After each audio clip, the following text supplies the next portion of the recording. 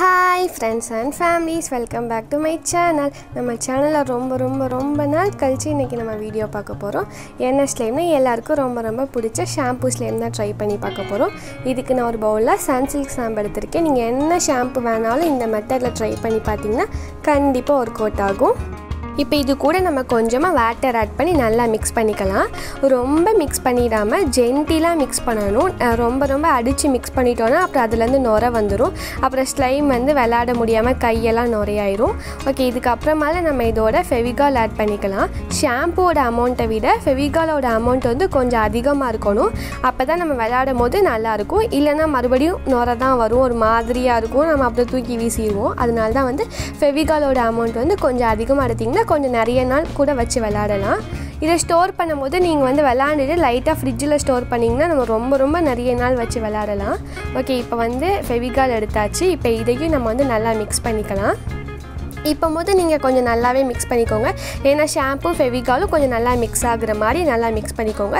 இது பார்க்கும்போது போரிங்காக ஒயிட் கலரில் இருக்குல்ல ஏற்கனவே நம்ம ஒயிட் கலரில் ஸ்லைம் செஞ்சுருக்கோம். ஓகே இப்போ நம்ம கலராக செய்யலாம் அப்படின்னு சொல்லிட்டு நான் பர்பிள் கலர் எடுத்து அதையும் போட்டு நம்ம நல்லா மிக்ஸ் பண்ணிக்கலாம். இந்த கலர் பார்க்கும்போது ரொம்ப ரொம்ப சூப்பராக இருந்துச்சு. அதோட இந்த மாதிரி கலரில் ஸ்லைம் கிடைக்கிறது கொஞ்சம் ரேர் தானே? நம்ம வீட்டில் செஞ்சால் நம்மளுக்கு பிடிச்ச கலரில் செஞ்சுக்கலாம். நெக்ஸ்ட் இதுக்கு ஆக்டிவேட்டராக நான் போராக்ஸ் தான் யூஸ் பண்ணுறேன் இதுக்கு சர்ஃபெக்சல் யூஸ் பண்ணி பார்க்கலாமான்னு தெரியும் தெரியல நெக்ஸ்ட் டைம் நம்ம கண்டிப்பாக அதையும் ட்ரை பண்ணி பார்த்துடலாம். ஓகே போராக்ஸ் வந்து கொஞ்சம் கொஞ்சமாக ஆட் பண்ணுங்கள் எடுத்தோடனே மொத்தமாக கொட்டிட்டோன்னா அப்புறம் நம்மளோட ஸ்டைம் வந்து ரஃப் ஆகிடும். அதனால் கொஞ்சம் கொஞ்சமாக ஆட் பண்ணி ஆட் பண்ணி நம்ம நல்லா மிக்ஸ் பண்ணிக்கிட்டே இருக்கலாம். இப்போ பார்த்தீங்கன்னா நம்ம ஸ்லைம் வந்து ரொம்ப ரொம்ப சூப்பராக வந்துருச்சு. பவுலில் ஒட்டாமல் வந்துருச்சுனாவே நம்ம ஸ்லைம் வந்து ரெடி ஆயிடுச்சு அப்படின்னு தான் அர்த்தம். கொஞ்சம் அங்கிட்டு சுற்றி உள்ளதெல்லாம் எடுத்து விட்டுட்டு நம்ம நல்லா டச் பண்ணி பார்த்தோம்னா நம்ம ஸ்லைம் கன்சிஸ்டன்சி தெரியும் இல்லையா? அந்த மாதிரி வந்துடும் இப்போ பார்த்தீங்கன்னா இந்த ஸ்லைம் ரொம்ப ரொம்ப சூப்பராக இருந்துச்சு.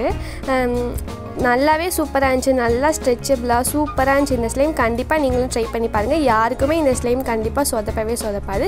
ட்ரை பண்ணி பார்த்துட்டு எப்படி இருந்துச்சுன்னு மறக்காமல் கமெண்ட் பண்ணுங்கள் நெக்ஸ்ட் உங்களுக்கு வேறு என்ன மாதிரி ஸ்லைமோட ரெசிபிஸ் வேணுமோ கமெண்ட் பண்ணுங்கள் நம்ம ட்ரை பண்ணி பார்க்கலாம். அதோட இந்த ஸ்லைமோட அந்த கிளிக்கி சவுண்ட் எல்லாமே ரொம்ப ரொம்ப சூப்பராக இருந்துச்சு. நல்லா இருந்துச்சு இந்த ஸ்லைம் பார்க்கவே. நெக்ஸ்ட் வீடியோவில் பார்க்கலாம். பாய் பாய் டேக் கேர்